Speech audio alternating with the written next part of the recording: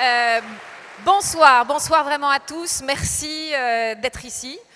Euh, pour un moment que je crois nous, nous attendons tous et nous espérions tous vivre un, instant dans notre vie, ben, c'est maintenant, ça va se passer entre nous.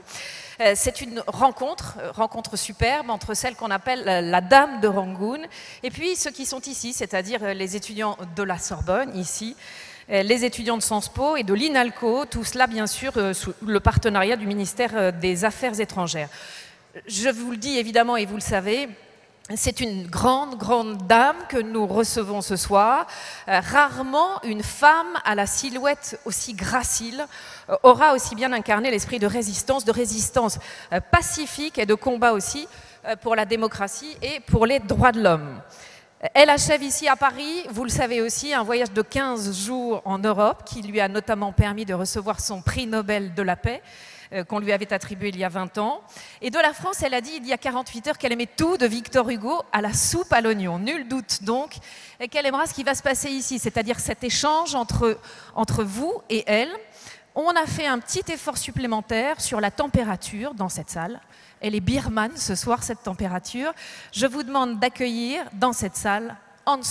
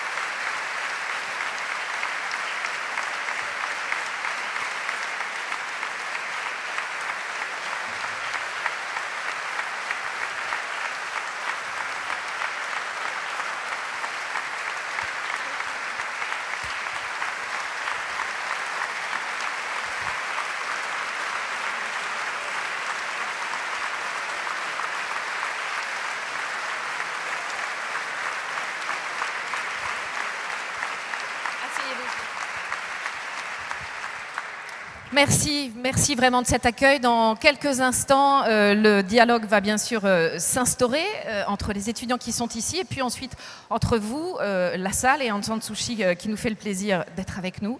mais d'abord un mot d'accueil du recteur de l'Académie de Paris, Patrick Gérard. Et plus qu'un mot d'ailleurs, je crois que c'est un geste. Madame, Madame la ministre de l'Enseignement supérieur et de la Recherche, Monsieur l'ambassadeur aux droits de l'homme, Monsieur le Président de Langzo, Monsieur l'administrateur provisoire de Sciences Po, Mesdames, Mesdemoiselles, Messieurs, votre présence en ces lieux ravive le souffle des grandes célébrations qu'a vécu ce grand amphithéâtre. Le centenaire de la Révolution française en 1889, le jubilé de Louis Pasteur en 1892, la réception du président Wilson en 1919, qui allait peu après recevoir le prix Nobel de la paix, et plus près de nous, en 1996, la réception de Nelson Mandela, lui aussi prix Nobel de la paix. Toutes ces célébrations ont fait battre le cœur de la patrie des droits de l'homme. En cet instant, ce cœur bat à nouveau chaleureusement pour célébrer en Sorbonne la belle alliance de la paix et du savoir. La paix, vous l'incarnez, Madame vous qui en êtes prix Nobel depuis 1991. À nos yeux, vous symbolisez plus que jamais le combat pour la démocratie dans le monde. Toute votre vie, votre magnifique combat nous rappelle cette belle maxime de Périclès Il n'est point de bonheur sans liberté, ni de liberté sans courage. Votre exemple et votre courage, Madame, expliquent sans aucun doute le formidable engouement de tous les étudiants qui ont répondu en si grand nombre à l'annonce de votre venue. À l'invitation du ministre des Affaires étrangères et avec l'actif soutien de Sciences Po et de Langzhou, ils ont voulu vous dire leur admiration, un peu comme ces jeunes de Birmanie qui ont l'habitude de vous appeler Mother, mère. Pour la communauté universitaire réunie ici avec sa ministre de l'Enseignement supérieur, la paix constitue la grande vocation du savoir. Vous qui êtes aussi docteur, vous savez combien la connaissance et l'esprit critique sont des promesses de liberté. D'autres combats, d'autres recherches ont été menées en ces lieux prestigieux. Je pense en particulier à Marie Curie, première femme professeure en Sorbonne et deux fois prix Nobel. C'est le même idéal d'humanisme placé au cœur de l'idée d'université qui nous rassemble cet après-midi. Vous l'avez compris, Madame, l'Université de Paris est fière de vous recevoir aujourd'hui pour ce moment d'échange avec ses étudiants. Et c'est au nom de tous ces maîtres et de ces étudiants que je vous remets maintenant la grande médaille de la Sorbonne en vous disant tout notre bonheur de partager avec vous ce beau moment d'amitié et de liberté.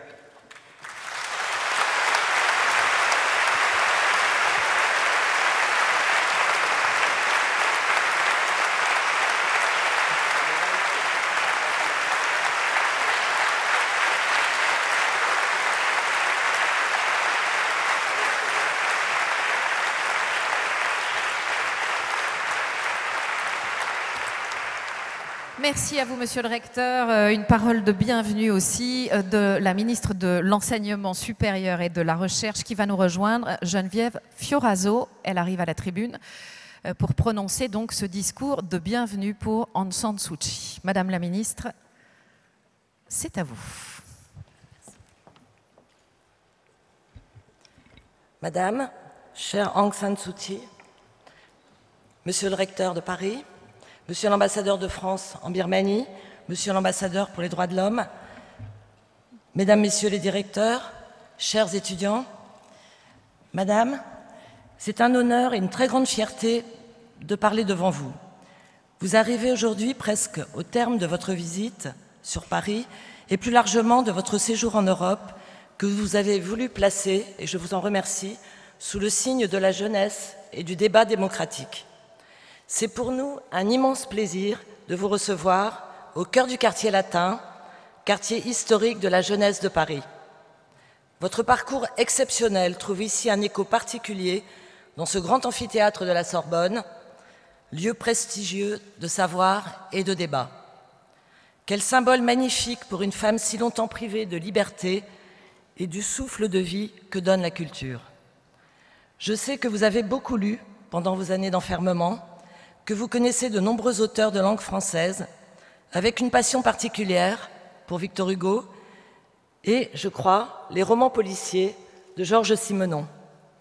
Je salue la présence nombreuse d'étudiants de différents horizons, notamment de la Sorbonne, mais aussi de l'Institut d'études politiques de Paris, et je salue euh, son directeur par intérim, de l'Institut national de langues et civilisations orientales, je salue son, son directeur, l'un des très rares établissements d'Europe où la langue et la culture birmane sont enseignées.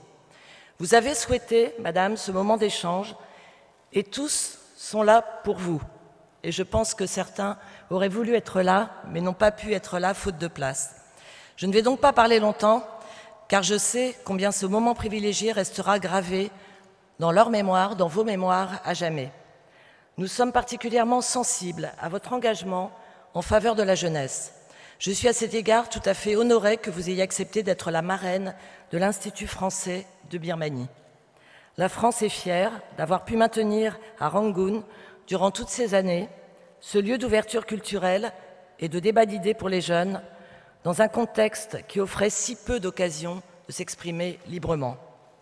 L'Institut français, qui a pendant longtemps été le seul centre culturel du pays à offrir une programmation artistique régulière et de qualité, est devenu, au fil du temps, un espace d'expression incontournable pour de nombreux artistes et étudiants birmans. La France est honorée par votre présence et vous remercie. Elle a toujours été à vos côtés car les valeurs pour lesquelles vous vous battez sont particulièrement chères à notre cœur. Malgré les privations, les humiliations, vous n'avez cessé d'appeler au dialogue, à la justice et à la réconciliation entre toutes les composantes de la nation birmane. Ces objectifs, ces valeurs sont aussi les nôtres. L'ouverture que connaît à présent la Birmanie nous permet d'espérer. Nous demeurons plus que jamais à l'écoute de votre analyse de la situation et de vos attentes à l'égard de la communauté internationale. Nous avons notamment conscience que la formation des jeunes, dans tous les domaines, est un défi vital pour l'avenir de la Birmanie. En tant que ministre de l'Enseignement supérieur et de la Recherche, je veux vous assurer de toute mon écoute et toute ma détermination à ce sujet, et j'en prends l'engagement ici, devant vous, à la Sorbonne. Vous avez déclaré récemment que votre voyage en Europe était celui de la découverte et de la redécouverte en regardant le monde avec des yeux neufs. Le monde a forcément beaucoup changé depuis le jour où vous avez appris, depuis votre maison de Rangoon, que le prix Nobel de la paix vous avait été décerné avec l'approbation du monde entier. Le monde de la science est un monde de femmes et d'hommes passionnés. C'est un monde fait de doutes, de détermination, de patience, d'exaltation, de solitude et de partage d'échecs et de succès. Tout au long de votre parcours pour la liberté, vous avez sans doute connu tous ces sentiments contradictoires et votre soif de connaissance et de découverte fait de vous une très grande chercheuse. L'exemplarité de votre démarche est un modèle pour nous tous. La présence de tous ces jeunes, étudiantes et étudiants autour de vous, restera sans doute une image forte de votre séjour en France. Il est des personnalités hors du commun qui redonnent sens à nos actions et à nos vies. Vous êtes l'une d'entre elles. Je laisse maintenant la place aux étudiantes et aux étudiants. L'université est universelle, votre combat est universel. Je vous remercie de votre attention.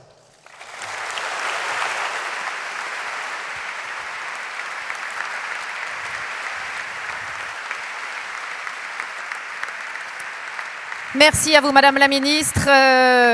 Euh, nous allons commencer cette séance de questions-réponses dans un instant, mais je crois que vous souhaitez, Aung San Suu Kyi, prendre la parole euh, à ce pupitre. Euh, on m'a dit que vous souhaitiez faire un petit discours à la Sorbonne, donc je vous en prie, rejoignez ce pupitre. tous les étudiants qui sont ici et les autres vont se faire un plaisir de vous accueillir et de vous écouter. Thank you very much for your very enthusiastic and warm welcome. I actually would have liked to have been brave enough to say a few words in French, but with so many people, I've been terrified. So I'll just say what I have to say in English, and I'm sure most of you understand it, but if, I, I, think there were probably uh, interpretation for those who don't. As I was listening uh, to the minister speaking about my years under house arrest, it occurred to me that one of the things that helped me to pass those years with equanimity was my curiosity. I was always wanting to know more about what is happening to the world around me and to myself as well. And however small the world may be, even if it is confined to one house or even one room, there is always something of interest going on. And because of this interest, I never felt that I was not free. I have sometimes felt somewhat unreal because I was not in contact with the rest of the world, but I never felt that I was not free because my mind was free to think and to think about new things. Every day it seemed to me that there were new things to think about. And I practiced meditation during those years, and this teaches you a lot about yourself. You should try just sitting very quietly uh, for about 20 minutes and uh, not thinking. It's very difficult not to think. And then you realize what your mind is really like. And little by little, because you know more about yourself, you are most sensitive to what is going on around you. And of course, I was lucky enough to have a radio to listen to and books to read. All of us need inner resources at some time or the other. If you're lucky, you may not have to depend on them too much. But if circumstances around you are such that uh, your life is restricted in certain ways, then you have to fall back on your inner resources. And I think that's what education should be about to build up your inner resources so that in whatever circumstances you may find yourself, you will be able not just to survive, but to grow. Because life is about growing, it's not about remaining static. It's about learning new things every day, even if there's something about yourself or something about the room in which you are forced to be. So I hope that all of you today will help to help me to learn new things in the next hour and a half. I think we have an hour and a half left, or perhaps less, and that the questions that you ask me will help me to ask questions about our situation in Burma. Because questions lead to other questions. Some have asked me, aren't you bored with people asking you the same questions again and again? It's not quite like that. People put their questions in different ways. And sometimes even the same questions can provoke new insights into the issue that they are addressing. So I look very much forward to the questions that you will put to me, and I hope that they will be as interesting for you as I'm sure your questions will be to me, that my answers will be as interesting as your questions will be to me. Thank you.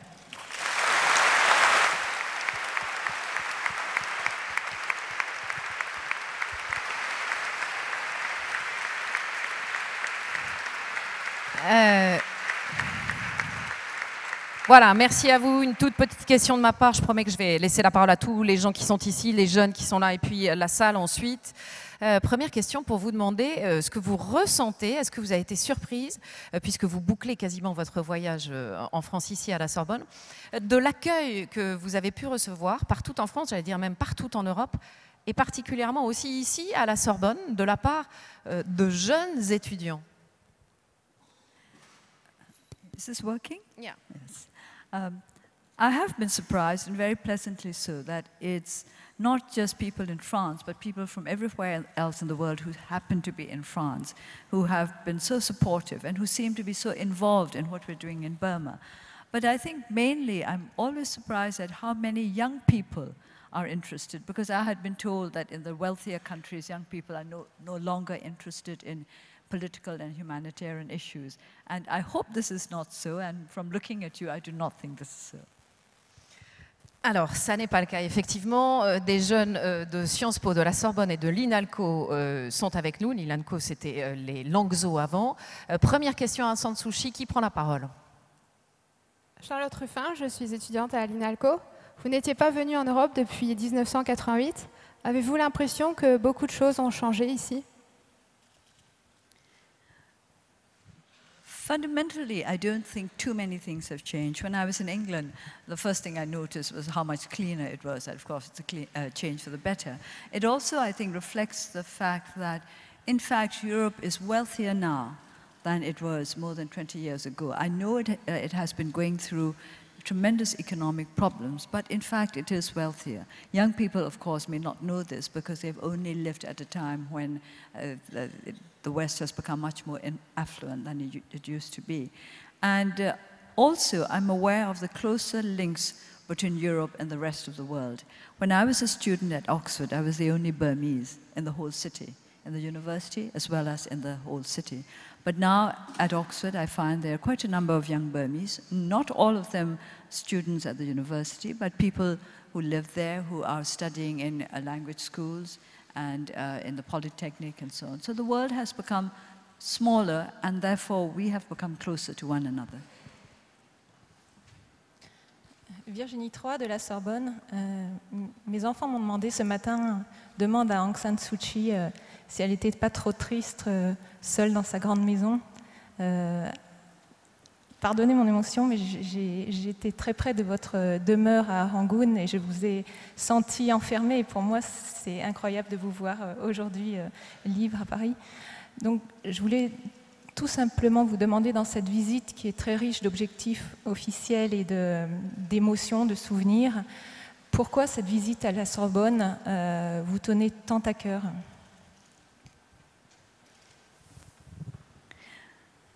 First of all, I think I'll have to be quite honest and say that there were very few times when I felt sad. Now, you, you may ask why I didn't feel sad, feel sad.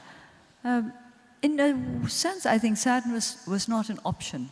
You should, you should not give way to sadness. And if you keep yourself as occupied as I kept myself, you had no time to be sad. I set a very strict timetable, which involved getting up at 4.30 in the morning. And if you get up at 4.30 in the morning, you feel annoyed rather than sad. And then the rest of the uh, day is filled with work. And the week weekends I would keep as uh, holidays. So during the weekends, I would not stick to a strict timetable. And that those days became rather uh, happy for me. Uh, today I don't have to work according to, to a strict timetable. I can do whatever like I like. I can sit and read detective stories a whole day if I like. Whereas during the week, I would set myself a time for reading economics, for reading politics, and so on. So because I kept myself so busy, I did not feel sad. But um, coming out here, uh, I'm very pleased to feel that many people have felt for me during those years that I was alone. And it, in retrospect, they seem even less sad than they might have been. Alors, on va peut-être maintenant parler d'avenir, parce que vous êtes aussi une, une femme d'avenir. On parle beaucoup de votre passé, mais je sais que vous regardez toujours en avant, avec d'autres questions de la part de nos étudiants. Mingalaba. That's an Indian word in Burmese, I know. Um, I'm just going to present myself in English and I have to ask the uh, question in French. My name is Samuel Kling and I'm studying at Sciences Po. Euh, ma question, c'est euh, n'avez-vous pas peur que le mouvement démocratique en Birmanie repose trop sur euh, le fait que vous soyez une icône? I don't think so. I think my stage is, is based on the power of the democratic movement in Burma, because this is supported by our people. For example, until the by-elections in April, I think there were still those who thought that uh, the movement in Burma was very restricted to a few activists. But the support that we received from the people during the campaign showed that they were behind it. Without the people behind us, the movement could not have survived. We would have been forgotten if the people were not there to keep our memory alive. And of course, also international organizations and uh, other countries which believed in democracy and human rights helped to keep our movement alive. The people in Burma have been much encouraged by the perception that the rest of the world cared and that we were not alone. But certainly I'm not the only one who's keeping the uh, movement in Burma alive, and I hope that this is not what people will continue to think. Justement, quand on vous compare à Mandela ou quand on vous compare euh, à Gandhi, quand on dit de vous que vous êtes une icône, est-ce que quelque part ça vous dérange? Euh, Comment vous vous définissez, vous, quand vous parlez de vous? Well, well, this icon business is a bit puzzling because I would have always thought that I was much too, uh, much too active to be considered an icon, which I always think of sitting there and just smiling very, in a very saintly way. And I'm no saint, by the way. You must get rid of the idea that I'm a saint. I always dislike being referred to as a saint. Um, I, I'm not like well, Nelson Mandela either. We are two different types of people. I admire him greatly, and I hope that our movement will meet with the kind of success that the anti-apartheid movement in South Africa has had. We always learn from other movements. We, learn, we learned a lot from the anti-apartheid movement in South Africa. We learned a lot from what happened in Poland, in the Czech Republic, uh, in places such as South Korea, Indonesia, South America. We learn from all parts of the world. This in itself shows that everywhere in in the world, there is this instinct that carries us towards freedom and towards the light of openness. And I think this is what we share with others who have been regarded as icons, but whom I think are really more fighters than icons. Alors, Camille Ver de l'INALCO, dans votre jeunesse, comment vous, vous êtes-vous constitué votre idéal politique I was brought up in a democratic country because Burma became independent in 1948 and uh, we became independent as a democracy. We had parliamentary democracy, not perfect, mind you, but it was one of the best in our region. And uh, Burma at that time was also considered one of the nations in Asia most likely to succeed. We had a good education system. In spite of the fact that Burma had uh, suffered greatly during the war, We had a good education system, we had a good health service, we had uh, a civil service that was efficient and clean. That is to say, it was not corrupt. So I grew up with great pride in my own country. And I, a lot of my father's old soldiers who used to tell me stories when I was small always said uh, to, always made me think that there were only three countries in the world that mattered. There was Burma, there was Japan, and there was England. And we got rid of the Japanese, we got rid of the, uh, of the English, so we were capable of getting rid of anybody who oppressed us. So this is the way I was brought up, to, be, to have full confidence in our ability to gain freedom for ourselves, and in a sense, to take uh, democratic rights for granted, in the sense that we th I thought that everybody was entitled to democratic rights.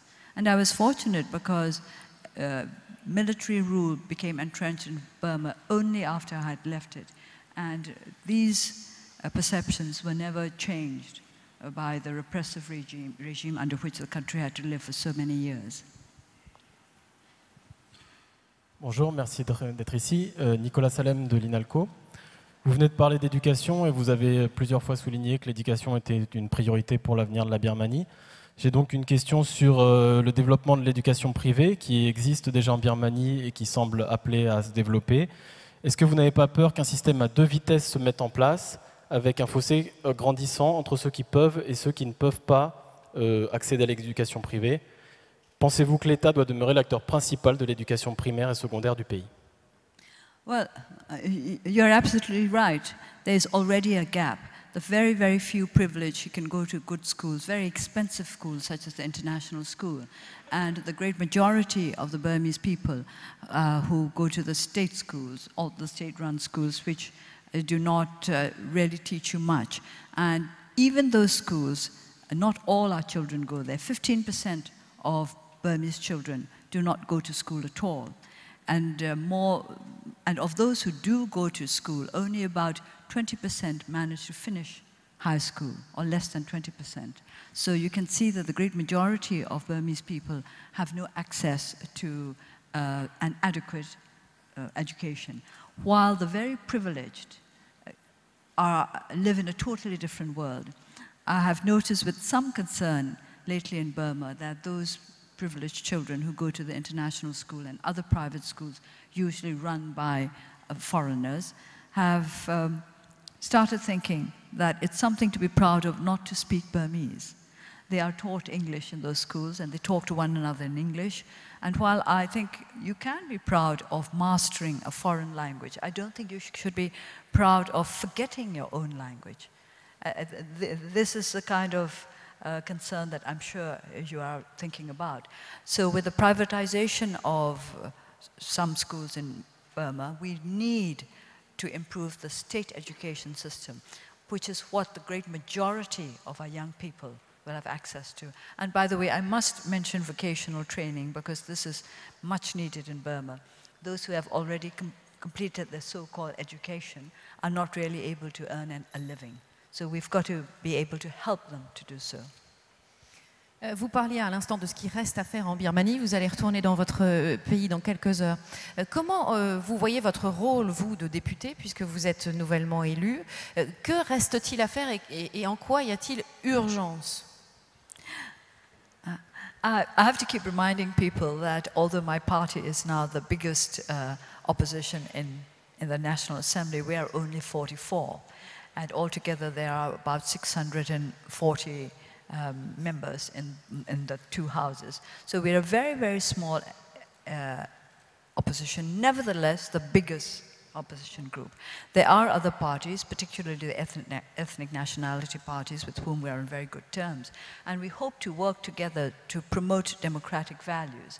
Uh, one of the first things that we would like to concentrate on is to make the legislative process more transparent so people know what we are doing, what, what the legislative assembly is doing. So far, we have to wait until the laws are enacted before we know what's in them, which means that stakeholders are not able to make their input before the laws are uh, the laws have been adopted.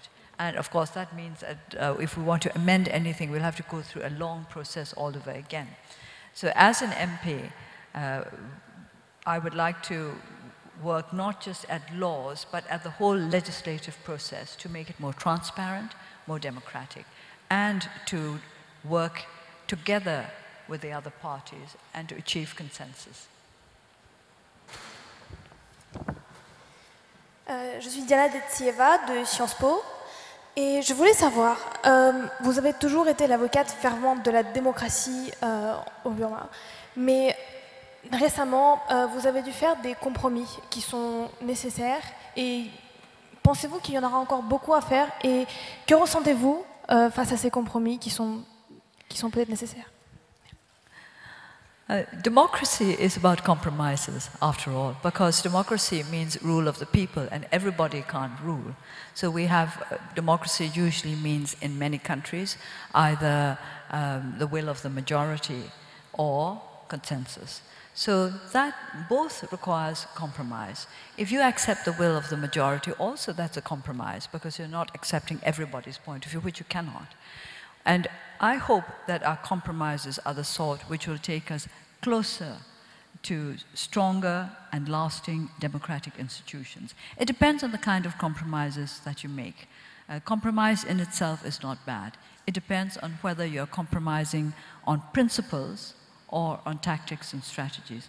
Of course, if it's a, a compromise which will involve giving up your democratic principles, then you should not in, engage in it. Une autre question Allez-y, je vous en prie. Minglaba, euh, je suis Kwanka Sankapantanon de l'INALCO.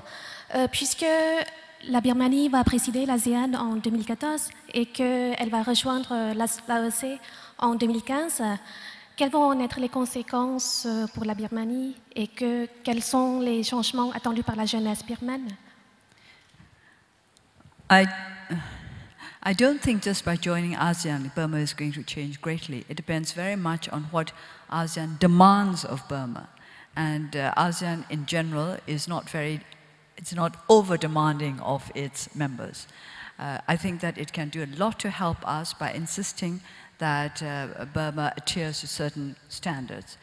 As for the young people of Burma, uh, what they will benefit from joining ASEAN depends very much on how the uh, increased engagement with ASEAN will affect their everyday life. Is it going to mean greater economic opportunities for them? Is it going to uh, mean greater educational opportunities for them? At the moment, we cannot say. We have to wait and see. But I don't think we wait and see in the sense of doing nothing and waiting for the situation to develop. I think we work towards what we want to see.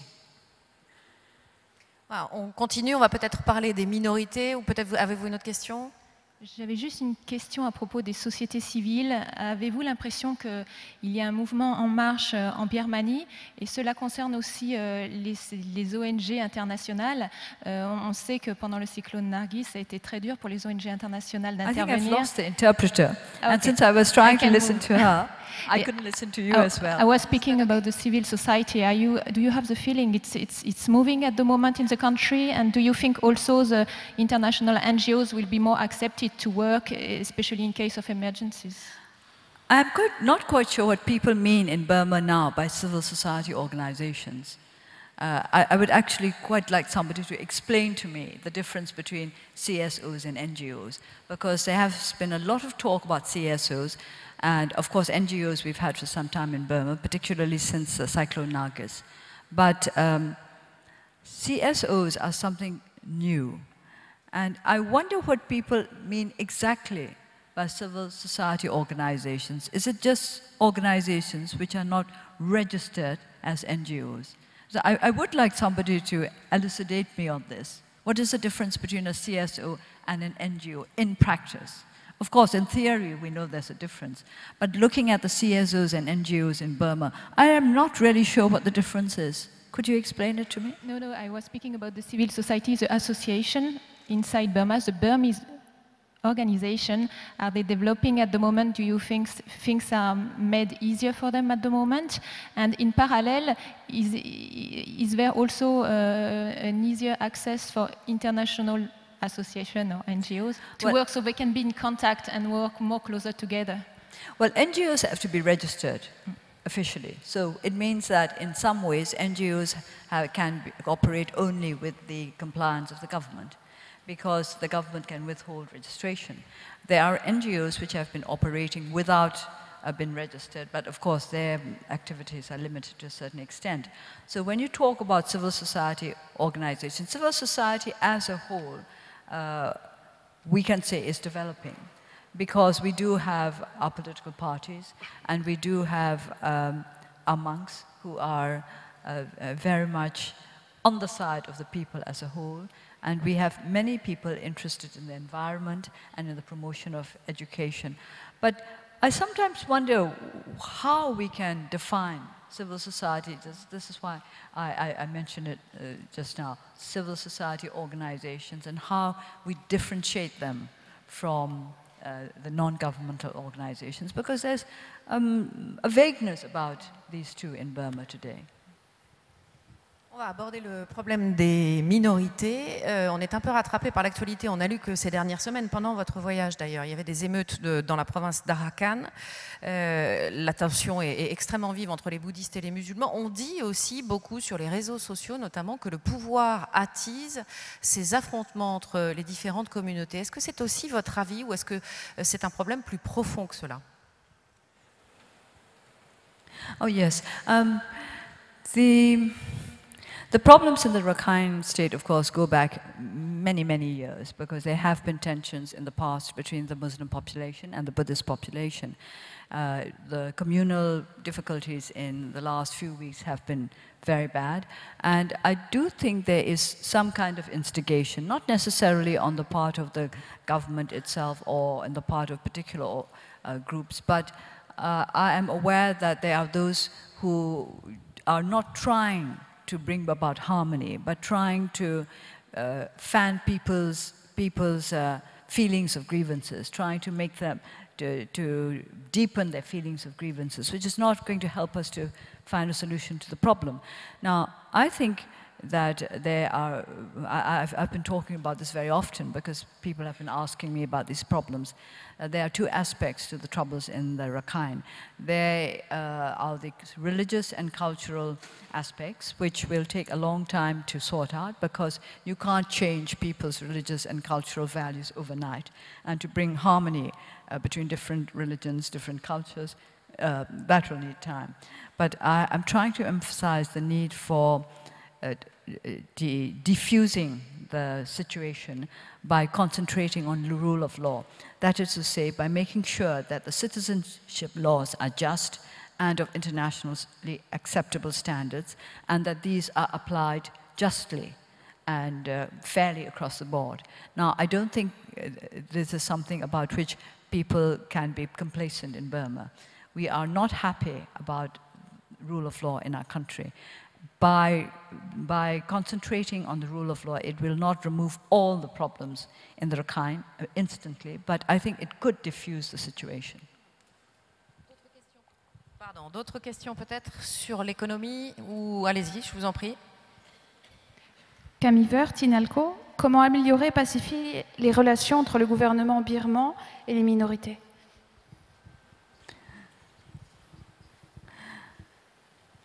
I do not think development, even economic development or any other kind of development, can be a substitute for democracy.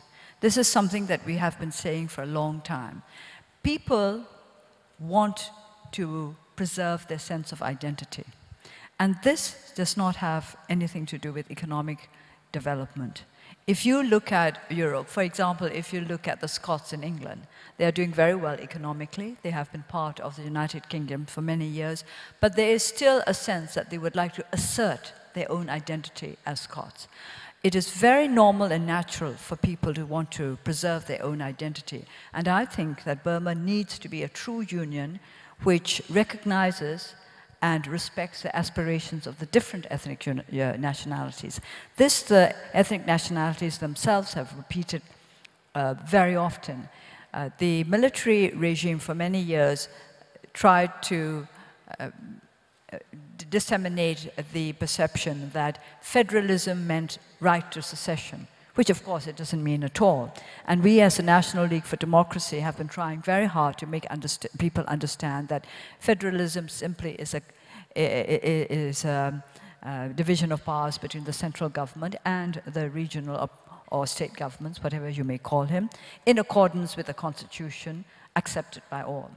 So I do not think development is going to be the only answer. We have to have a political settlement that will be acceptable to all ethnic nationalities. Une question sur euh, euh, l'éducation et les minorités. Il semble que l'enseignement des langues minoritaires dans les écoles publiques va faire son retour très prochainement. C'est une question particulièrement complexe, avec des enjeux à la fois éducatifs et politiques. Pensez-vous qu'un système scolaire de type fédéraliste, avec des composantes locales au niveau primaire, soit souhaitable et possible à mettre en place? Question pointue. Mais très bonne question. Mais intéressante. Uh, I, I think uh, the ethnic nationalities should be allowed to preserve, and nurture their own languages. At, at the moment, they're not allowed to teach their own languages in schools. I think we will have to have a main language, or possibly two, because in these days, you really cannot get by without English, wherever you may be. So I think English and Burmese will have to be taught. But I think they should be able to teach their own languages as well in the ethnic nationality regions. Um, federalism, there are many types of federalism. So I do not think that federalism will mean greater trouble if the constitution is such that everybody is confident that federalism does not mean secession. The ethnic nationality uh, parties have said repeatedly that they do not want secession. That is not the kind of federalism they are working towards. And I think we all need to understand this. Ah, on va parler économie. Vous êtes ici euh, euh, en France, vous avez fait un tour d'Europe. Euh, en quoi l'Europe peut-elle vous aider dans les années qui viennent? Est-ce que si des aides économiques sont envisagées effectivement, elles doivent être assujetties à la progression de la démocratie dans votre pays? Of course, econo economics means investment in many ways, because the other kind of aids would be development aid, humanitarian aid, which usually go through governments or international organizations. But if we're looking at it purely from the point of view of the, of the economy, then we'll have to look at investments. I have spoken of democracy-friendly, human rights-friendly investments. Practically speaking, this means that we should encourage uh, businesses investing in Burma to adhere to codes of best practices, particularly with regard to financial transparency. And I've been repeating this, particularly with regard to the extractive industries, because uh, these are the industries in which many, many foreigners are interested in Burma. We have tremendous natural resources, and we do not want to be dissipated. Uh, our natural resources have been a problem to us. We have, in a sense, suffered from the resources curse because this has enabled the, the military regime to uh, survive without the support of the people. And we've got to get out of the syndrome of the natural resources curse by taking a responsible attitude towards investment in those areas, in particular. But in every area, we, we would like to encourage uh, businesses to sign up to codes of best practices.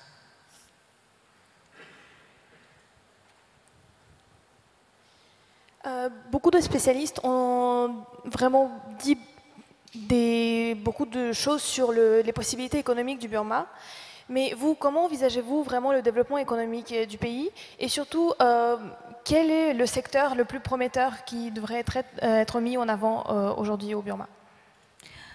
Um, There are tremendous uh, possibilities in Burma. The potential is great. But I think it's a matter of how we prioritize them.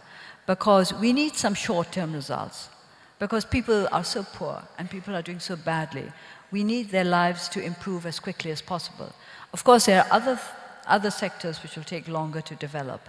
I mean, oh, this is why people talk of low-hanging fruit, the, the sectors where the returns will be quicker and we will be able to feel a change in our own lives. There is great interest in the tourist industry. And this is considered one of the low-hanging fruits because there are so many tourists poised to come into Burma and we do not have enough facilities. And if we were to be able to train up young people to work in the tourist industry, this would mean early job creation. And uh, this could mean a change to the lives of many people. And also, we want to encourage those kind of businesses which will take responsibility for some of the infrastructure in our country. When I was elected um, in April to, to my township, I, I met members of my constituency and asked them what they wanted most, what their priorities are. And the first they mentioned was good roads, communications. The roads are so bad that during the monsoons they practically disappear. And children cannot go to schools in other villages because it would take them too long to wade through the, um, uh, the, the muddy lanes. And by the time they get to school, it's almost time for the school to be over. And it makes economic life also very difficult. And I ask him, what's the second one? Because roads, to construct roads is not so easy for us as a political party. It is water. It's things as basic as that. That was easier for us in the sense that we could start digging, digging wells for them and repairing ponds and water tanks. So there's a great need for the kind of investment which will help us with the basic needs of the people as well. So these have to be quick, uh, uh, uh, uh quick in returns. But then there will be others which will take longer. So we have, it's a matter of prioritizing. There, there are so many possibilities in Burma that it's almost frightening, and this is what uh, is worrying, that people are so eager to go in because they want to have first refusal, if you like, that I sometimes am worried that they will not think enough about the consequences of the way in which they invent, invest. Euh, vous parliez de la richesse de votre pays qui peut se relever en partie seul. Vous parliez aussi des investissements qui sont nécessaires. Je crois qu'il y a une question que quasiment tout le monde ici se pose dans cet amphithéâtre. En tout cas, c'est une question qui nous est beaucoup revenue. Euh, tout le monde s'interroge et se demande ce qu'il peut faire à son propre niveau pour aider la Birmanie aujourd'hui à progresser vers la démocratie. Ah. Um, France, of course, I would like you to uh, urge France, that is to say, your government. To support the initiative for, uh, for financial transparency, which the European Commission is considering, which would be a very good one, because uh, it would be project by project, and all companies, and if this were adopted by the European uh, Parliament, all companies, all businesses which are um, registered with the stock exchanges in Europe would have to adhere to the to, to these codes. So I would like you to do that in a very practical sense, that you persuade France to support this initiative and get it through as quickly as possible. So, so companies like Total, I've been asked about Total very often, uh, will also have to adhere to that code of financial transparency. And this will help our situation a great deal and uh, ensure that investment does not go to the wrong people. We don't want new investments going to the same old people.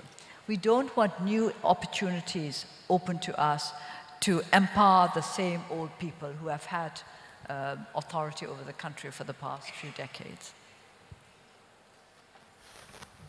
Bonjour, Samuel Kling, Sciences Po. Euh, J'ai une question donc, euh, en rapport avec ce développement économique et euh, Quel est votre sentiment sur la sincérité, de l'armée? Ne vous pensez-vous pas que hum, les compromis, là c'est plutôt négatif, sur la scène politique sont un moyen pour les militaires d'augmenter leur pouvoir euh, euh, économique? Et je, me base sur plusieurs articles que j'ai lus que, avec la libéralisation s'accompagnait de, de, la distribution d'entreprises à des amis des militaires. donc euh, ne pensez-vous pas que une partie des sanctions ont été levées? Vous ne pensez pas que les militaires vont rebondir sur sur l'aspect économique Well, th this is exactly what I was saying, that you must watch uh, who is getting the new opportunities, uh, who are getting the new contracts, uh, where are the investments going. This is the need for transparency. Sometimes we, we discover only after the contracts have been signed and sealed and, and, and made legal that these contracts were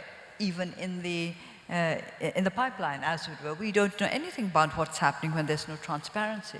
But if we knew, for example, that a particular company was thinking of linking up with a particularly nasty crony, before they were able to complete uh, their agreements, then uh, we have a lot of time in which to point out that this is not acceptable.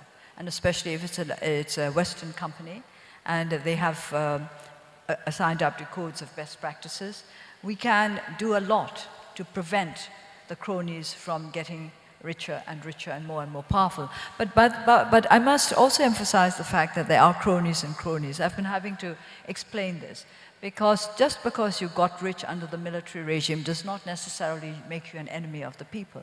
It's how you got rich and whether in the process of getting rich you actually um, hurt the freedoms and rights of others. Some cronies did that, some didn't. And I do not want our country to be captive to the past. We must go forward. We can't always be kept back by what has happened in the past. But on the other hand, we can't completely forget what, what has happened in the past, particularly if that is going to be carried along into the future. Euh, j'entendais dans certaines de vos dernières déclarations que vous portiez certains espoirs dans la jeune génération euh, des militaires euh, qui arrivent maintenant. Est-ce que vous pouvez nous expliquer ces déclarations et, quelle différence C'est-à-dire qu'est-ce que vous les sentez plus ouverts à une démocratisation du pays dans les années à venir? Uh, I, I, think I would say that they're more open to international values, and this is something to, has, of course, computers and the internet and so on. Uh, the younger generation in the military have been more, uh, are, are, certainly a lot more IT literate than the older generation, and they have access to news to which their seniors did not have access. But on the other hand, we also have to be aware of the fact that some of the younger generation who are uh, more electronically, technologically literate than their seniors might use their skills to preserve their special position in the country. So there are always pros and cons. But I think there is a greater likelihood of their opening up to other ideas.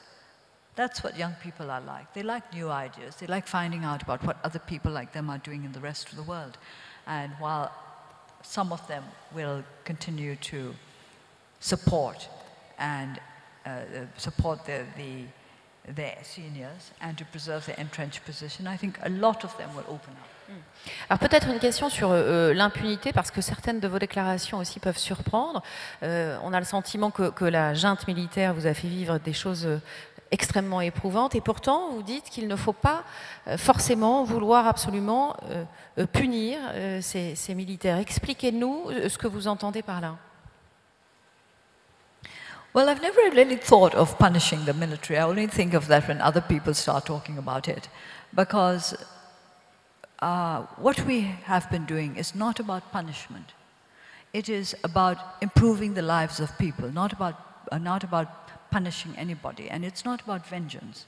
I've never felt vengeful. And if you ask me why, well, I, I don't think that I've been treated that badly compared to others. So I do I recognize the fact that those who have suffered more than I have may feel that uh, uh, the military should be brought to justice.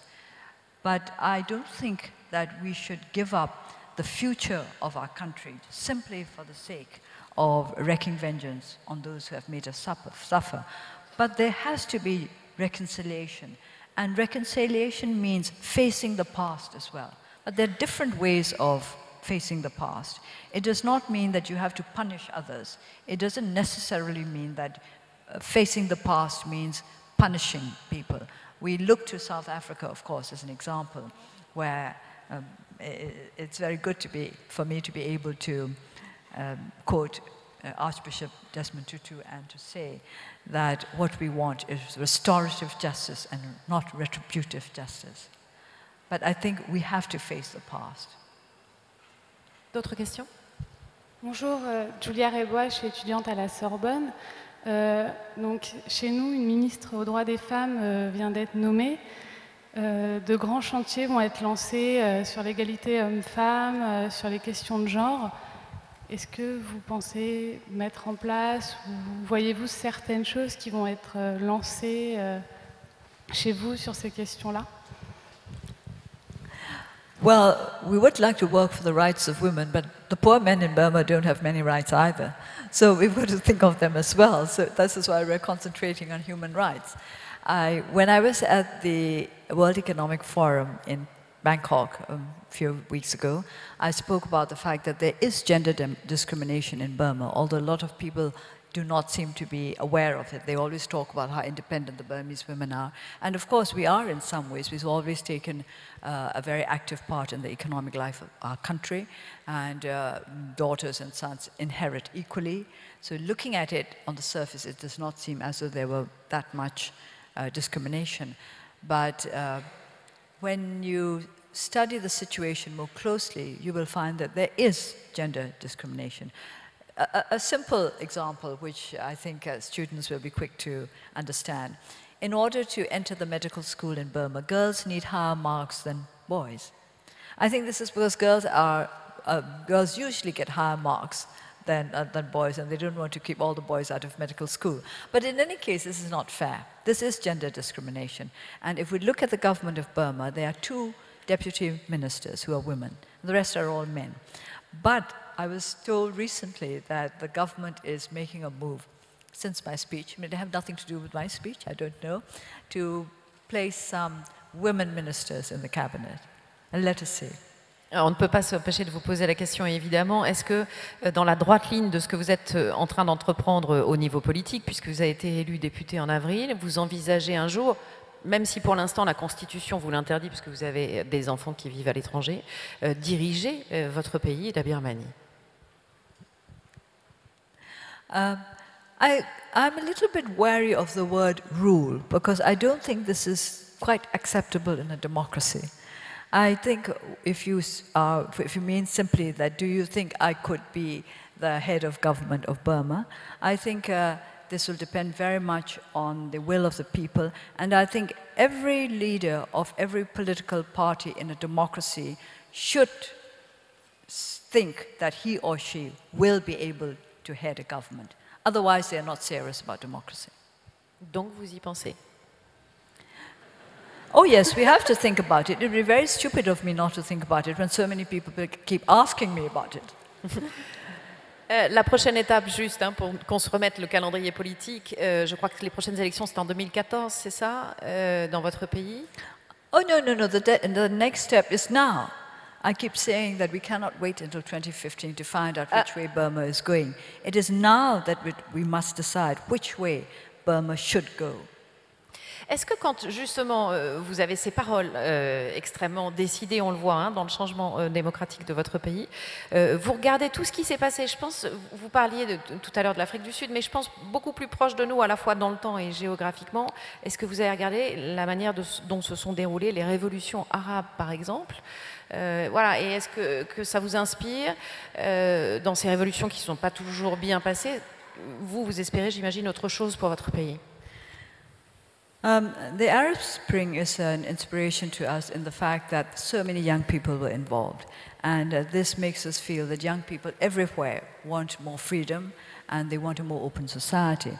But uh, the Arab countries are very different from Burma. I think we have uh, one advantage over many of the Arab countries which have uh, partaken of the Arab Spring, that we have had an opposition party for a long time for over 20 years. Yes, we were terribly repressed.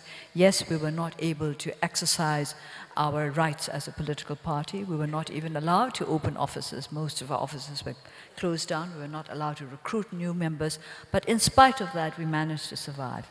And I think this is the main difference. And we are, uh, I think we can claim to be a liberal, moderate opposition. And this is uh, a good augury for the future of democracy in Burma.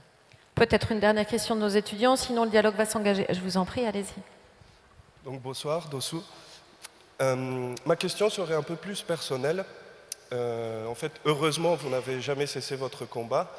Mais euh, pendant les différentes années où vous avez été assiégé à résidence, est-ce qu'il y a eu un moment où vous avez senti que vous étiez seul ou que vous alliez peut-être pas arriver à, mener votre combat, c'est-à-dire euh, d'être abandonné soit par les politiciens, soit même par euh, la population birmane? No, there were times uh, during those years when I I've mentioned this uh, in my Nobel speech. When I, when I didn't feel quite real. Mind you, there have happened many times during this journey when I didn't feel quite real. But uh, it, it's because you seem to be uh, working in a different way from other people around you. But I never despaired. I never thought that I would like to abandon our cause. I would think of some of my colleagues in prison and it occurred to me that even if there were just one person like some of them, it would be worth fighting for. Just one person would be enough. The, I think it was a young girl from Egypt who asked me uh, in London, at a, at a meeting in London, uh, whether I agreed with those who said that some people do not deserve democracy, that, in some, that some countries do not deserve democracy. And I explained to her that, in my opinion, even if there's just one person in that country who believes in the dignity of the human being, they deserve democracy. Peut-être juste euh, un mot sur ce que vous avez ressenti quand vous avez reçu votre prix Nobel qui vous avait été attribué 20 euh, ans euh, avant. Dites-nous ce que vous avez ressenti, puis ensuite on va donner la parole à la salle, parce que ça fait une heure maintenant que les étudiants vous posent des questions. Well, when I heard about the news, I wasn't particularly surprised because I'd been hearing on the radio that I was one of the front runners. Um, it didn't really strike me very strongly at that moment. Perhaps it, because I was feeling sleepy. I think the news came over in the evening on the BBC. but uh, it was later, slowly, slowly, it came home to me how important it was for our cause, not just for me alone, but for our cause that the Nobel, Nobel Prize had been awarded to me. It focused the attention of the world on our struggle in Burma, and uh, I knew then that we were not going to be forgotten.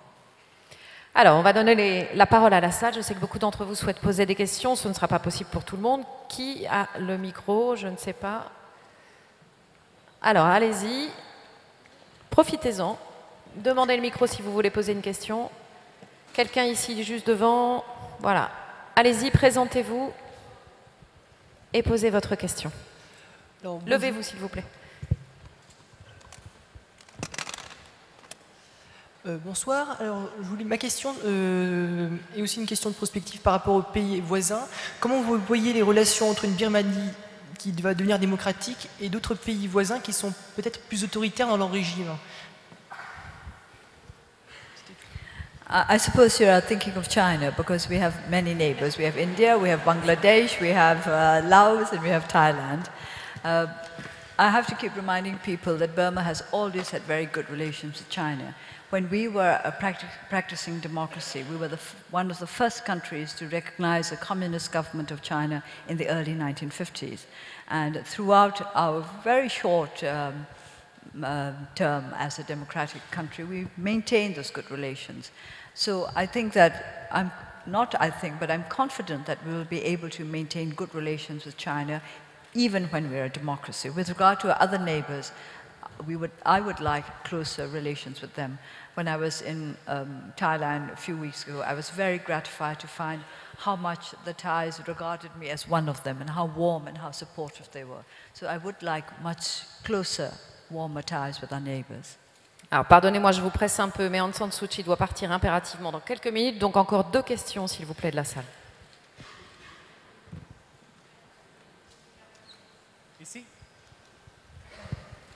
Good evening, ma'am. My question is about hope.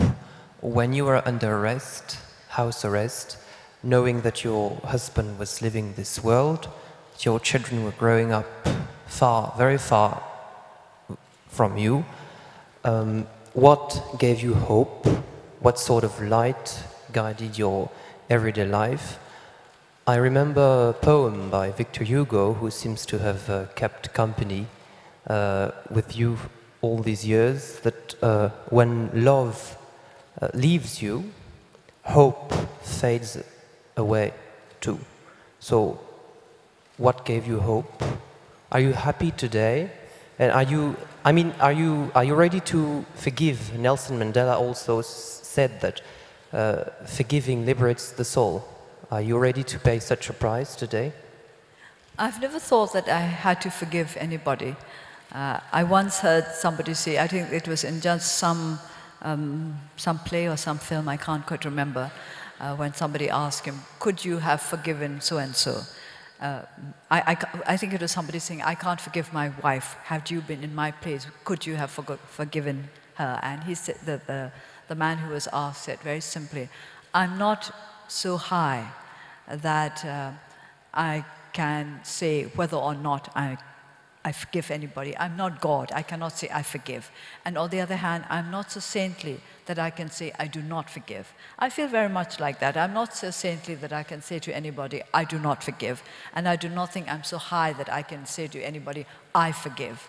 Um, I don't think there's anybody who really needs my forgiveness in a big way. In small ways, maybe somebody who tramped on my foot or something, I may forgive. But in big ways, I do not think that I have anybody, anything to forgive anybody. And perhaps that has helped me because I do not ha have any feelings of bitterness or resentment. Uh, I have never been deprived of hope. And in any case, I think hope is linked to hard work. I work very hard, and so do the other members of my party. And because we work very hard, we never lose hope. Voilà, pardon, mais pour respecter l'emploi du temps de notre invité, une dernière question.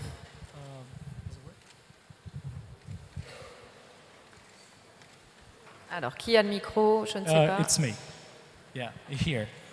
Ah, um, Là-bas. My Over name there. is uh, Najib Babakar from Sciences Po. Um, and uh, first of all, I congratulate you for your Nobel uh, Award, and you certainly deserve it. I guess uh, you've been asked and you've answered quite a lot of questions about the suffering and about the political plans that you have for Burma.